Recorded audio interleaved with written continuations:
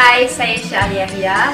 Saya ingin mengucapkan selamat Hari Raya Puasa, selamat Hari Raya Aidilfitri, maaf Zahir dan Fatin kepada uh, semua ahli-ahli SN.